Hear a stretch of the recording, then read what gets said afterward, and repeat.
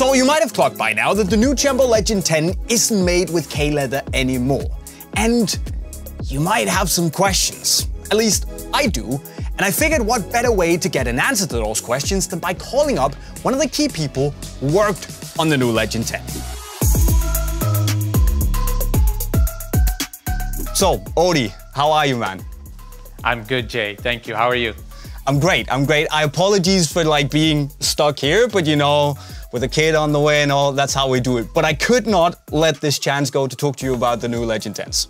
So, um, so tell us right away, you know, a leatherless legend. You know, it's a legacy that's been going on since, well, the early 80s, over, of course, 1994, and now it's, it's no more.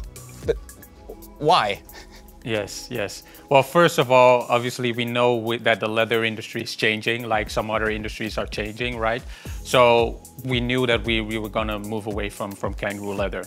And we started having the discussions internally like, hey, what do we do? We know the, the Tiempo legend has always stood for kangaroo leather, so what do we do? And I said, I think we can do something better than kangaroo leather. For decades, we've been talking to athletes and we've been hearing the same things all over again. We've been hearing why they love leather boots, but we also have been hearing what some are the, the cons are of leather boots. So we set ourselves a mission exactly with the, uh, after the Tiempo 9 to bring something new um, with the with the new engineered leather. Weren't, weren't you a bit afraid when you heard, or like at least a little bit cautious when you heard that, okay, we're gonna drop leather after so many years, and there will be so many people out there with this emotional connection to leather. There was some caution, but at the same time, when you're at Nike, you know you work on innovation, right? And that's what made us big as a company. I mean, we kind of, you know, break the rules and do things that we've never done before. So I was actually excited to start working on this project. And I took, the, took it as a challenge and, and a challenge that I would face full on in terms of like moving away and successfully moving away from kangaroo leather. But that's actually a perfect segue to talk about FlyTouch Plus, which is this new synthetic leather that, I, I, you know, I'll be honest, when I heard you were doing a leatherless legend, I thought, oh, okay, okay, let's, let's see. Um, but then I heard about it, one, and then I got it in hand and especially on feet, and I was I was impressed. I didn't really want to be impressed because you know I'm I'm the old school leather gang. I like my leather boots, right? But I also just have to hold my hands up and say that when I got this on feet, I was impressed. You know, what makes this material so special and what makes it a, a like a legit replacement in your book for kangaroo yes. leather? Yes, that's a great question, Jay, and thanks, thanks first and foremost for the compliments. I'm, that's, I'm happy to hear that. Um, no, we so we started actually with like what we call a materials brief, and we were like, okay, what do what do people like about leather boots? Why do people love leather? Well, they love the softness, they love the comfort, they love it how it how it immediately molds to your feet, right? So we were like, okay, these are the key attributes that we need to keep in this new material that we're going to develop. And then we were like, okay, but what do people not like about, you know, uh, kangaroo leather? It's like overstretching, it gets heavy when it's wet, um, you know, and then as well, like you're not able to do as many like colors and graphics and like fun stuff that you are able to do with synthetics. So we were like, okay, let's marry these two things and let's start working on this material. So that's how we worked with one of our material vendors and start kicking off this process into creating this product. And we were like, okay, the softness, the hand feel is gonna be super critical, obviously, because that's what leather purists really love to, to look at first, right? So we started really obsessing that, and from there on out, obviously, we started to continue to build the boot. It's recycled nylon, and then obviously um, the vendor like worked on a specific like Nike proprietary way of creating like the soft hand feel, um, which was obviously key to that. We do want to replicate obviously the benefits of leather, but at the same time, we also want to be honest and transparent about the fact that it's not a leather boot, and we want to actually see how we can improve performance beyond what kangaroo leather could do. So we added this rep grip finish, as we call it, which creates actually a better touch. And it's, it's, a, it's a slightly more tacky hand feel than you, than you have with kangaroo leather, and that's intentional.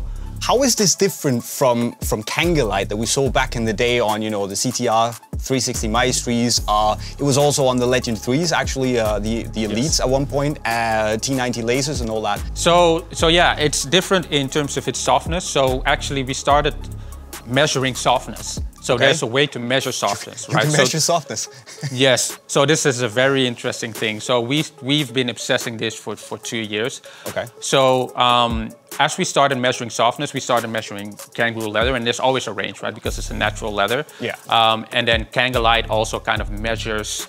Um, in a similar type of fashion as, as kangaroo leather. And we were like, hey, let's set the bar higher. Let's see if we can get even softer, right? Without being too soft. We are actually softer than Kangalite has been in the past. Um, but obviously with that package, we, we also want to make sure that it still has like a bit of body to it, if that makes sense. Overall, as we were as we were measuring it, it is softer. And that's something that obviously we take we take pride in with this new material, and that's different from any any material we've, take, we've done in the past. This Tiempo has not only is it the 10th generation of, of the Legend, so naturally a bit of a milestone, but it also has the potential to be a, a bigger milestone for Nike because you are moving with this one away from leather, right? Uh, what is the feeling, or you know, are you a bit excited or anxious, you know, uh, nervous to see the reaction uh, from, as you said, the purists, like the aficionados out there who just swear by their leather boots? Yes. No, I'm, I'm super confident and happy. Um, I will say, obviously, along the way, we were like, okay, how will people perceive this? And, and one thing in our process that we do at Nike is we do a lot of testing and we put this in front of athletes, right? And we've done a mixture of our aficionados, our purists, um, and, and giving them these boots. And actually, one thing we've done is kind of a blind test. So we gave him a Tiempo 9, blacked out. We gave him the Tiempo Legend 10, blacked out. And we were like, hey, you tell me, what do you think of these different materials? And, you know, the vast, vast majority were like, oh, what I feel here on the Tiempo Legend 10, obviously they didn't know back then it was the Tiempo Legend 10, but what I feel on this boot is amazing. I actually prefer this over over what I felt on the on the kangaroo leather boot. So that gave us a lot of confidence, as well as like having athletes tested on the pitch and getting their feedback was was insanely overwhelming. And we were like, wow, we were super super happy with what we were hearing from our athletes. So that's why we are we are extremely excited to bring this boot, obviously, to to the larger public. But outside of the the Fly Touch Plus, we brought Flyknit back, as well as the heel counter. So we know how many people get blisters if they try on new boots in the heel. So our mission was to really minimize the amount of blisters. And as you can, can see and feel, is that this heel is extremely soft. So we applied like the U-shape heel counter, which we have also in, in, in one of our other boots, the, the Phantom uh, series as well. The um, and applied yeah. Yes, yes, and and we we applied that here as well because obviously it's it's it's super soft and and hopefully you know leads to zero distraction. So Yeah.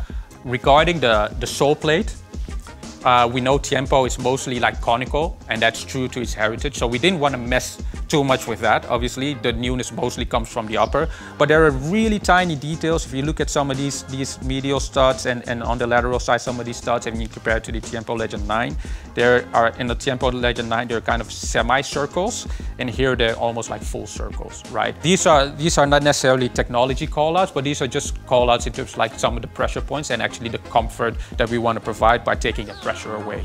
Odie, tell me, what was the most difficult part of, of developing, building the Legend 10? Yes. Uh, first of all, it was getting the material in the right spot. I think that was that was the most difficult part, and we've we've had highs and lows, right? I think in in all transparency, we have very high quality standards as well, next to obviously just the the, the standards that we set for ourselves. So when testing the initial material developments, like it didn't meet our quality and, and durability standards, for example. So that was something we had to work on whilst maintaining that soft hand feel. So that was that was one of the one of the biggest challenge actually, to be honest. Right. What are you most proud of then? I'm, I'm most proud of out of the overall result, but I think if I need to name one thing, it's indeed like going from kangaroo leather to a material that feels and performs like this. For me, is is is the thing that I'm most proud of. Uh, but anyways, guys, um, let's thank Odie for his time and, and explaining in depth what is actually going on behind the scenes uh, inside the Tiempo Legend 10 here. Uh, if you're a little bit skeptic, uh, uh, skeptical like me, go out and try it. Honestly, it's a, it's, it's a pretty wildly comfortable uh, boot. And you can, of course, buy it in the link to Unisport right over there. Odie, thank you so much for your time, mate. Uh, appreciate it. Guys out there, remember to subscribe. Tell us what you think in the comment section. And with those words, we will be signing off. Cheerio.